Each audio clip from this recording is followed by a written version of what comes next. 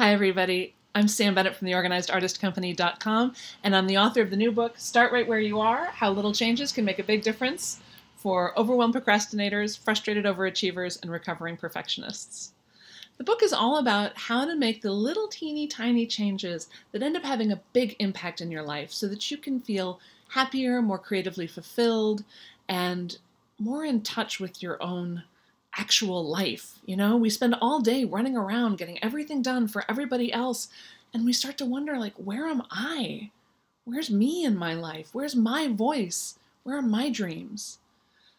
But that day to day stuff can sometimes overwhelm us. So, the book is about a million different tiny strategies that you can use to start moving forward on the life that you really want to have. One thing I recommend is that you move self care to the top of the list. And by self care, I'm talking about like all, I'm not talking about like fancy mud packs at a spa. I'm talking about food.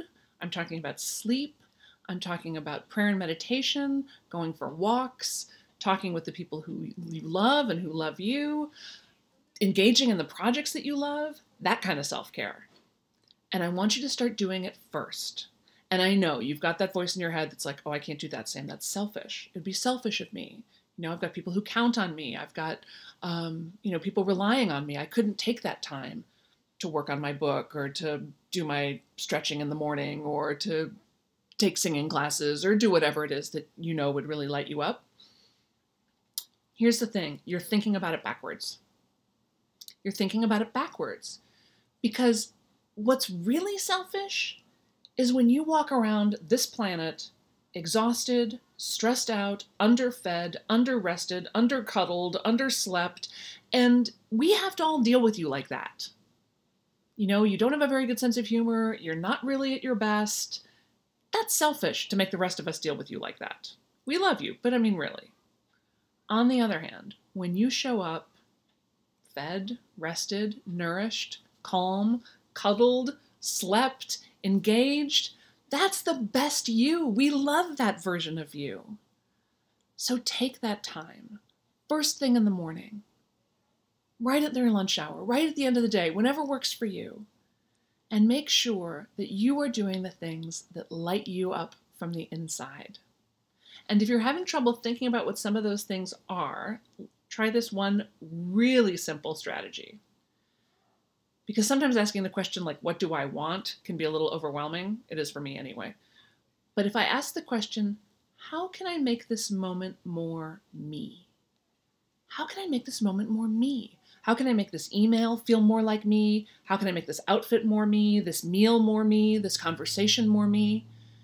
And it just opens the door for you to engage just a little bit more in the things that you're doing each day so that your life feels a little richer and we're getting a little more of the authentic version of you and the that's energizing that's exciting. So fed rested prayed meditated creatively fulfilled and you.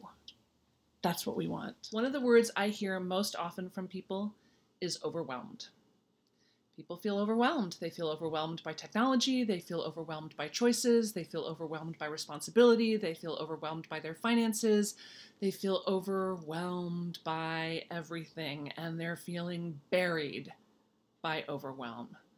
It's really hard to feel joy when you feel overwhelmed.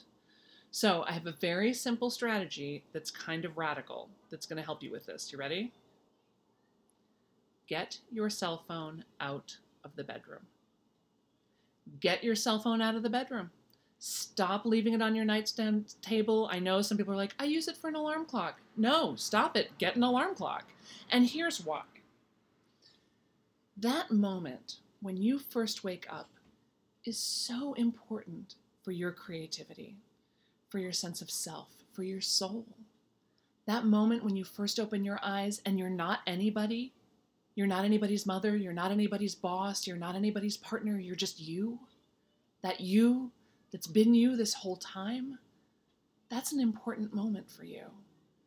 Plug into that feeling and enjoy the moment of waking up, of stretching, of cuddling, of dozing, of snuggling. Enjoy that. Something like 42, 42, I think, percent of people reach for their cell phone within the first minute or two of waking up. That's disastrous. That's instant overwhelm. The minute you're looking at your phone, you've got email and phone calls and messages and social media and Facebook and Instagram, and it's all in your face immediately. Of course, you feel overwhelmed. There is nothing out there that cannot wait for 5, 10, 15 minutes while you give yourself the gift of waking up. So get your cell phone out of the bedroom and let me know how it goes. Thanks, everybody.